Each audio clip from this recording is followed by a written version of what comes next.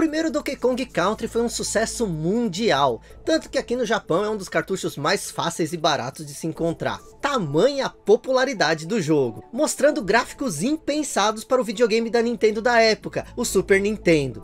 Donkey Kong Country 2 foi um sucesso absoluto, até mais que o primeiro. Continuando o que era bom e evoluindo a jogabilidade, os gráficos, se tornando um dos melhores jogos para o Super Nintendo. E aí chegamos em Donkey Kong Country 3. E esse eu vou te falar, não fez tanto sucesso assim como seus antecessores. Mas por que será? Já que ele é com certeza o ápice da tecnologia da Silicon Graphics, que transformava gráficos 3D em sprites 2D. No vídeo de hoje a gente vai descobrir como que era o contexto da época, por que que era o melhor e o pior momento para se lançar Donkey Kong Country 3. Um dos vídeos mais pedidos aqui do canal, como que foi toda a criação e desenvolvimento de Donkey Kong Country 3. E vai ser agora. Então... Bora!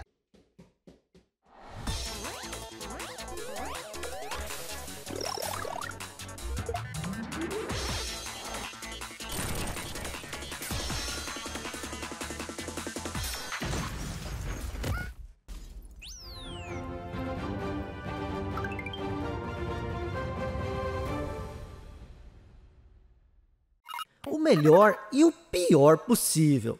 O contexto histórico de Donkey Kong Country 3, Dixie's Kongs Double Trouble, é como uma moeda. De um lado a situação era muito favorável, mas do outro parecia o pior momento possível. Ou pelo menos parecia tarde demais. E eu explico. O lado positivo é que em 1996, ano de lançamento do jogo, os dois games anteriores já tinham se tornado clássicos do Super Nintendo. Tanto o primeiro com sua evolução gráfica, lançado em novembro de 1994, como o segundo e seu absurdo polimento da fórmula, um ano depois, em novembro de 1995, tendo sido até mais querido que o primeiro, por boa parte dos jogadores. Sendo assim, em novembro de 1996, lançar um terceiro jogo parecia ser o melhor momento possível, já que os fãs da franquia já estavam na casa dos milhões de pessoas, isso considerando apenas as vendas diretas dos games. Porém, pelo outro lado da moeda, era um ano tardio. A indústria de games, em novembro de 1996, já tinha se tornado completamente diferente do ano anterior, o que incluía os envolvidos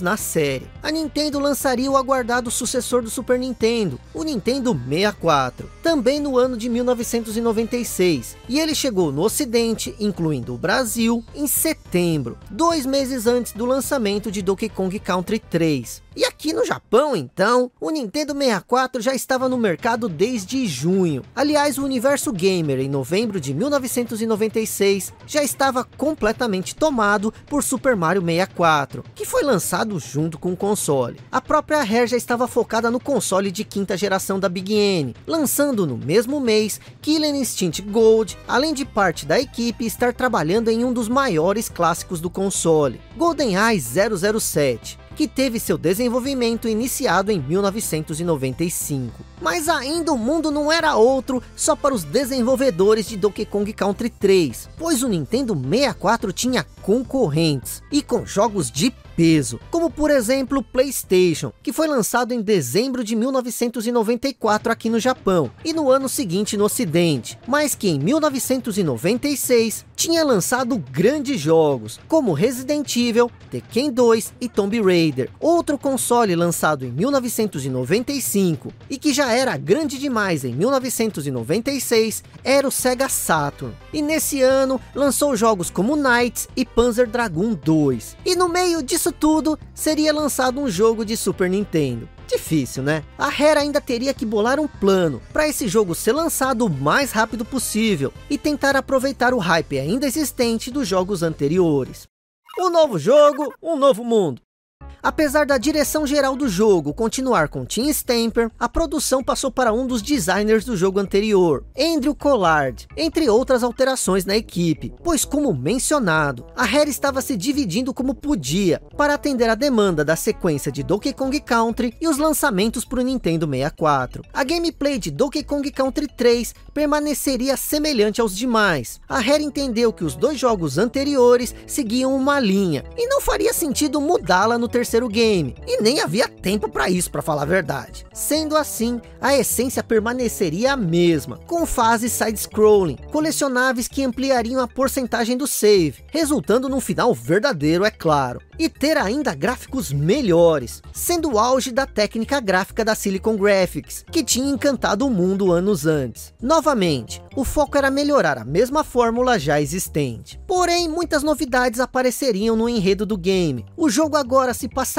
em Northern Hemisphere, uma região inspirada no norte da Europa, buscando uma ambientação diferente para a série. Essa nova região foi um grande investimento do jogo, buscando criar novos e os mais belos ambientes de toda a série, como por exemplo as palafitas, um tipo de construção em meio a rios e lagos, encontrado logo no começo do jogo, as cachoeiras, penhascos e os moinhos, novamente ambientes característicos do norte europeu, lembrando que a Rare é um estúdio britânico, então essa inspiração europeia veio, entre aspas, de casa. E mesmo os world maps eram muito caprichados visualmente, mas o legal mesmo era uma de suas novidades, o Overworld interativo, onde no mapa de seleção de fases, você não iria só de um ponto 1 ao ponto 2, mas poderia passear ali pelo mapa, o que era bem divertido, e é usado até hoje em jogos como Super Mario 3D World e Kirby and the Forgotten Land. Originalmente a dupla jogável seria Dixie e Diddy Kong, pois a aceitação de Dixie, a namorada de Diddy Kong, foi muito grande, e nesse jogo eles queriam que ela fosse mais importante o que talvez não ocorreria com a presença de Diddy Kong, que era muito carismático e querido, e então buscando o conjunto de expansão e renovação, num novo enredo, a Rare expandiu a família Kong de protagonistas, assim como havia feito no jogo anterior, e decidiram criar um primo para Dixie, Kid Kong, um bebê Kong de 3 anos, uma curiosidade é que Kid é o único protagonista da série que não começa com a letra D, como por exemplo Doken,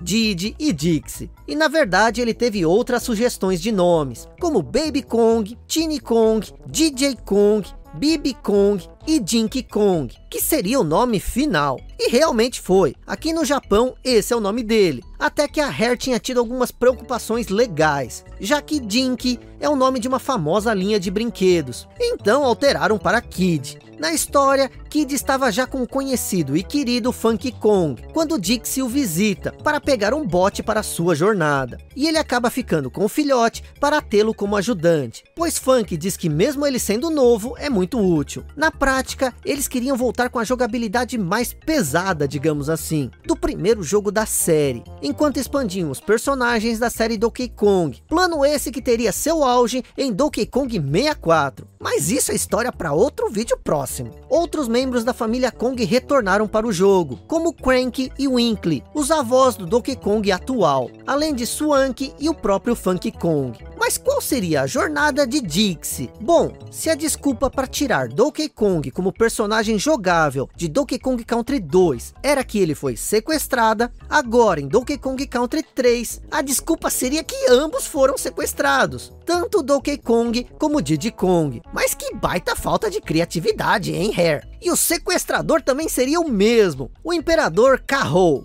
Porém, ele teria uma forma diferente, de cientista maluco, chamada de Baron K. Holenstein. Nome, claro que foi inspirado no cientista Albert Einstein. Ainda buscando enriquecer esse novo mundo, expandindo a gama de personagens, novas montarias surgiram, sendo a principal a introdução de Ellie, a elefante, uma substituição para o Rambi, o rinoceronte, além de Perry, que funcionava como um segundo personagem controlável simultaneamente, além do retorno de muitos outros animais queridos, como Skalks, Squitter e Engard. Em termos de personagens, houve a introdução de uma grande família de ursos, os Broad Bears, que estavam espalhados pelos diversos mundos do jogo e funcionavam como uma side quest de troca e obtenção de itens, mais um elemento que auxiliava na exploração do jogo e seu fator complexo que novamente foi expandido. Agora era necessário 103% para se ter o final verdadeiro e até mesmo 105% era possível, onde após resgatar Donkey Kong e Diddy Kong, Dixie e Kid iriam para mapas novos, então liberariam os pássaros dourados e a rainha, e juntos perseguiriam Carro num bote, até prendê-lo num casco de ovo.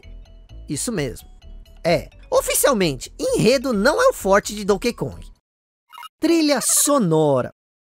Donkey Kong Country 3 também teve uma alteração significativa em seu desenvolvimento. Na verdade, é uma das alterações mais impactantes, que foi o compositor principal da trilha sonora, que não teve participação de David Wise como nos games anteriores, sendo limitado somente a sete músicas do aclamado compositor. E o motivo é simples, ele foi um dos que ficou na divisão de tarefas da Rare, entre Donkey Kong Country 3 e o Project Dream, que viria a se tornar Banjo-Kazooie. Sendo assim, não pôde se focar na trilha de Donkey Kong Country 3, que a Rare chamou outro nome para liderar a trilha, que também era experiente na série. E tudo isso ficou a cargo de Eveline Fischer, que também tinha trabalhado no primeiro jogo da série. Eveline foi responsável por temas marcantes do primeiro Donkey Kong Country, como a música Simian Segue. Então ela tinha experiência e história suficiente para se encarregar do serviço. Mas mesmo ela sabia que a tarefa de substituir o Wise após o sucesso de Donkey Kong Country 2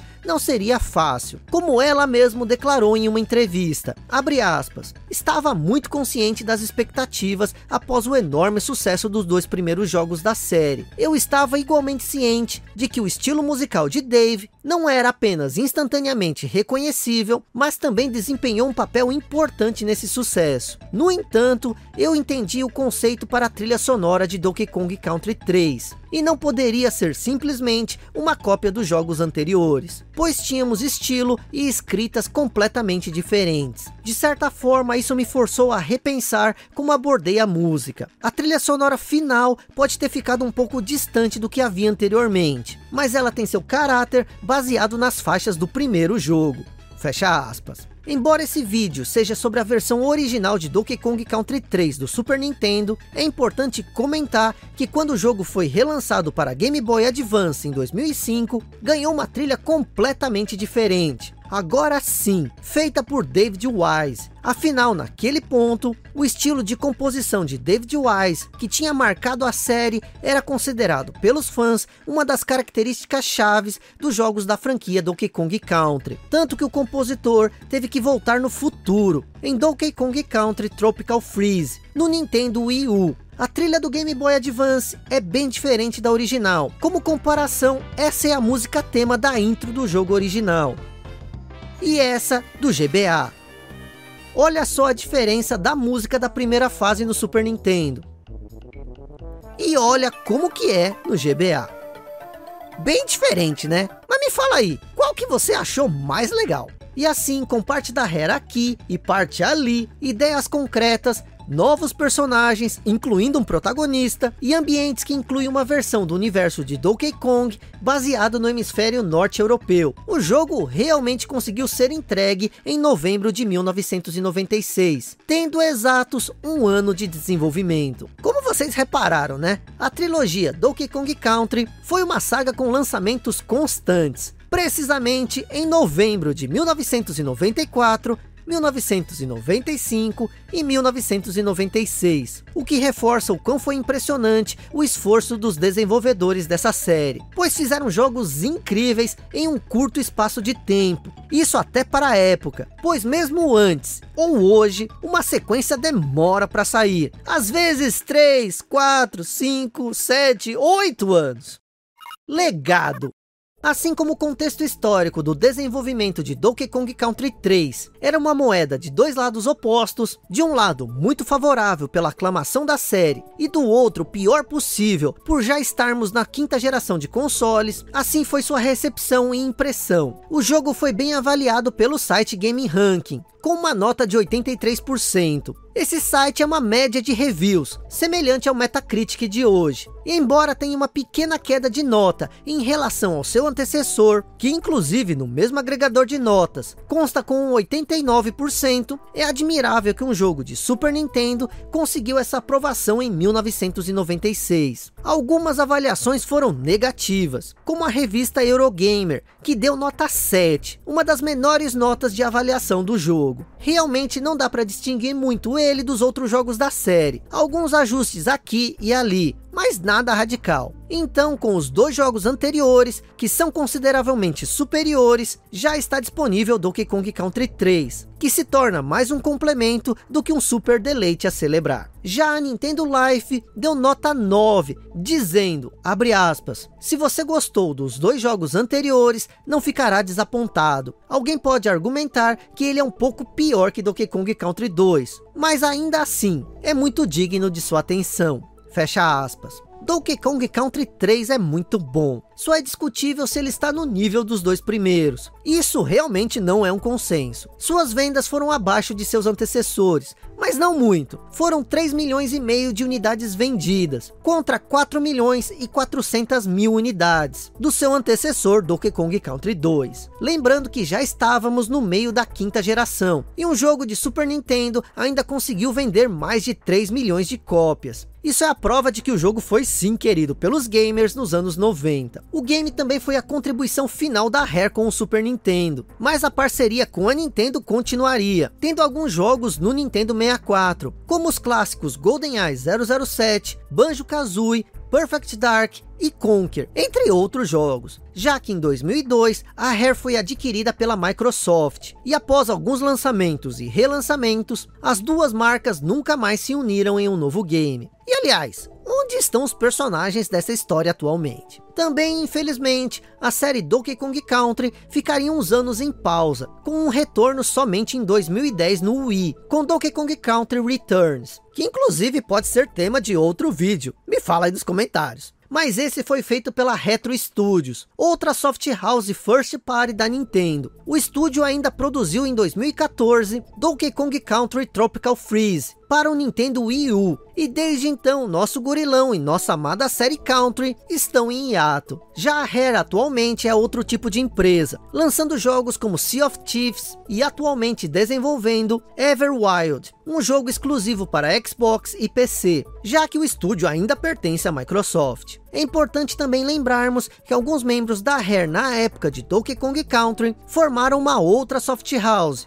a Playtonic Games, entre eles Steve Miles, diretor de arte de Donkey Kong Country 2 e também de personagens como Yooka-Laylee, o primeiro jogo da Playtonic, disponível em várias plataformas. Mesmo envolto de algumas controvérsias, Donkey Kong Country 3 Dixie's Kong Double Trouble é o precioso membro final da trilogia Donkey Kong Country no Super Nintendo. Mas eu quero saber de você, qual a sua história com Donkey Kong Country 3? Eu tô muito curioso, me fala aí nos comentários. Ah, e não se esquece, me segue no Twitter e no Instagram, arroba Vitorisui. No Twitter a gente pode conversar sobre tudo. Já no Instagram eu posto foto de itens que eu ainda não mostrei aqui, além de você saber um pouco mais da minha vida aqui no Japão.